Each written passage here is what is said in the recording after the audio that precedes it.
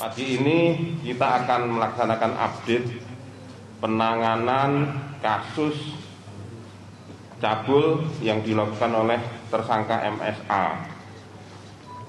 Pagi ini mungkin rekan-rekan sudah memahami bahwa kemarin sudah kita lakukan upaya paksa dan berbagai langkah-langkah kepolisian lainnya sehingga tersangka ini berhasil kita temukan atau kita dapatkan dan kita bawa ke tempat ini.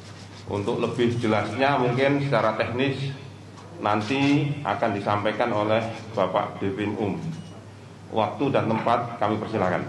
Alhamdulillah barusan tepatnya 09.30 secara administrasi kita telah menyerahkan tahap 2 tersangka dan barang bukti kemudian diterima langsung oleh JPU sekaligus disaksikan oleh Pak Aspidum dan Pak Kajari dari Jombang mendasari pasal 8 ayat 3 UHAP kita telah melaksanakan kewajiban penyidik untuk menyerahkan tersangka dan barang bukti.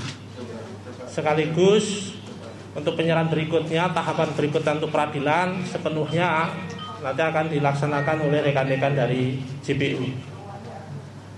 Kemudian rekan-rekan sekaligus untuk kemarin 321 yang telah kita amankan dalam proses penangkapan di tanggal 7 Juli 2022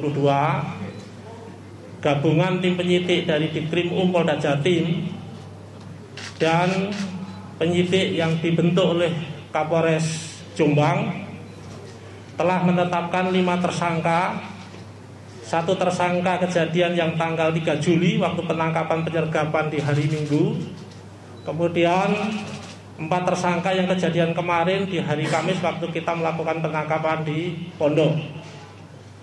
Rencana siang hari ini akan kita lakukan penahanan terhadap lima tersangka dengan pasal 19 Undang-Undang 12 2022 tentang tindak pidana susila khususnya berkaitan dengan perbuatan mencegah merintangi proses penyidikan dalam konteks ini adalah saat dilakukan tahap 2 ancaman hukuman 5 tahun.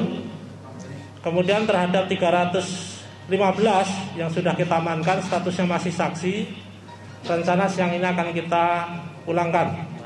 Tentunya kami dari kejaksaan pada hari ini menerima tahap kedua penyerahan tersangka dan barang bukti tersangka ini kami akan dakwakan tentunya pasal 285 285 KUHP junto pasal 65 KUHP ancaman pidana 12 tahun atau kedua pasal 289 KUHP junto pasal 65 ancaman pidana 9 tahun atau pasal 294 ayat 2 kedua KUHP Junto pasal 65 KUHP uh, dengan ancaman pidana 7, 7 tahun. Tentunya dengan adanya penyerahan tersangka barang bukti ini pada kesempatan pertama ini kami akan segera limpahkan ke Pengadilan Negeri Surabaya dan akan kami tindak lanjut dengan persidangan. Mungkin ada sampaikan dari Pak Kajian Jombang? Uh, cukup ya demikian rekan-rekan media ya. Jadi uh, berkat kerja sama ini kami telah berhasil ya berhasil untuk uh, menindaklanjuti perkara uh, persetubuhan, pemerkosaan atau percabulan ya.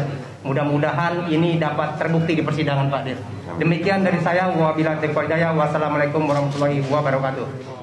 Medcom.id, a part of Media Group Network.